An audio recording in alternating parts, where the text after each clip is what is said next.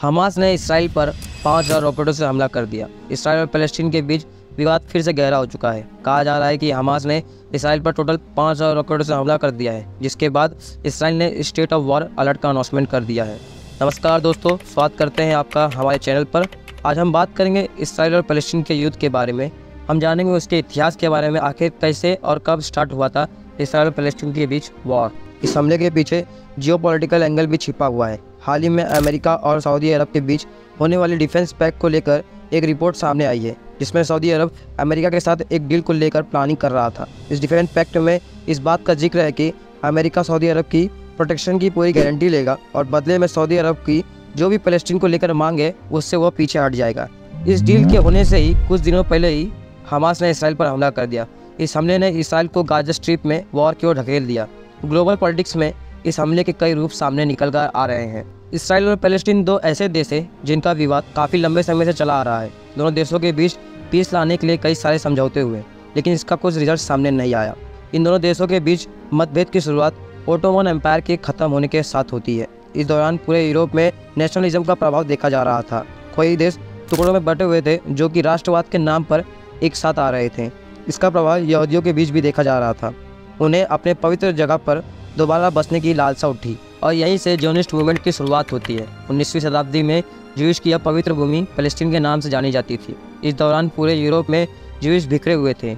उनके साथ यूरोप में काफ़ी शोषण होता था। यूनिस्ट मूवमेंट के दौरान शुरुआत में छोटे स्तर पर यहूदियों का पलायन फलस्तीन की ओर हुआ।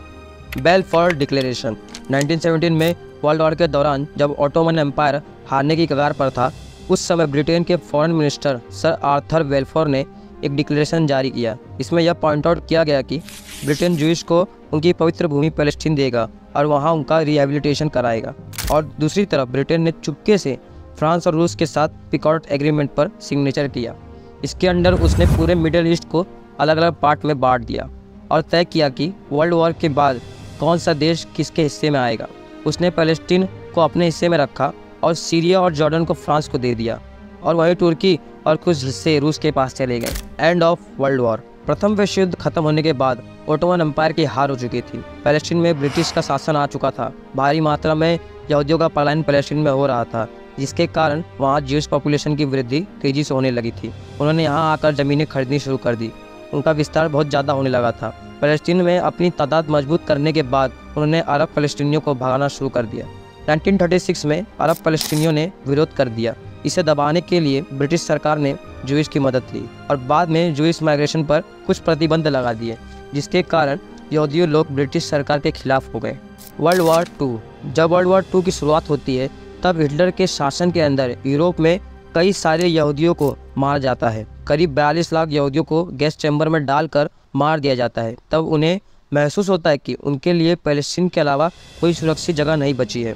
वर्ल्ड वार टू के बाद यूनाइटेड नेशन ऑर्गेनाइजेशन अस्तित्व में आती है। जब जूश और अरब के बीच मतभेद काफ़ी ज़्यादा बढ़ जाता है, तब ब्रिटेन इस मामले को संयुक्त राष्ट्र संघ की ओर भेज देता है। जब इस मामले पर वोटिंग होती है तो ऑर्गेनाइजेशन ने कहा कि यहूदियों की संख्या ज़्यादा है तो उन्हें इसराइल मिलेगा, और जहाँ अरब की संख्या ज़्यादा है, उन्हें फलस्तीन में दिया जाएगा। और तीसरा था यरूशलम। यहाँ आधी आबादी यहूदियों की थी तो आधी आबादी मुस्लिम की थी। और उस क्षेत्र में इंटरनेशनल कंट्रोल लागू होगा। 1948 the war of Arab Israel UN के फैसले के फ़ौरन बाद ही नवनिर्मित इसराइल के पड़ोसी देश इजिप्ट सीरिया इराक और जॉर्डन ने उस पर हमला बोल दिया। इस युद्ध में इसराइल ने इन चारों देशों को हरा दिया। The war of 1967 Egypt Syria और जॉर्डन ने 1967 में दोबारा इसराइल पर हमला करने के लिए योजना बनाते हैं। उनके इस हमले से पहले ही इसराइल ने इन तीनों देशों पर हमला बोल दिया था। इस वॉर में इसराइल ने सीरिया से गोलान हाइट इजिप्ट से गाजा स्ट्रिप और सिनाई पेनिनसुला और जॉर्डन से वेस्ट बैंक छीन लिया। बाद में कुछ इंटरनेशनल एग्रीमेंट के कारण सिनाई पेनिनसुला इजिप्ट को वापस करना पड़ा। उधर दूसरी तरफ़, इसराइल के पास पूरा पैलेस्टीन कब्जे में आ चुका था। इस युद्ध को सिक्स डे वॉर के नाम से भी जाना जाता है। ऑस्लो एकॉर्ड समझौता। इसराइल का पैलेस्टीन पर कंट्रोल हो चुका था। इस माहौल के बीच यासिर अराफत ने एक ऑर्गेनाइजेशन की शुरुआत की, जिसका नाम फलस्तीन लिबरेशन ऑर्गेनाइजेशन था, जिसे पीएलओ के नाम से भी जाना जाता है।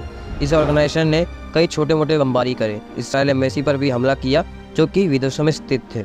इसराइल का कई प्लेन को हाईजेक किया गया, ऐसे ही वायरस बढ़ने लगा था। इस दौरान दोनों देशों में पीस लाने के लिए साल 1993 में ऑस्लो एकॉर्ड समझौता होता है। इसमें यह निर्णय लिया जाता है कि फ़लस्तीन इसराइल को अंतर्राष्ट्रीय देश के रूप में स्वीकार करेगा।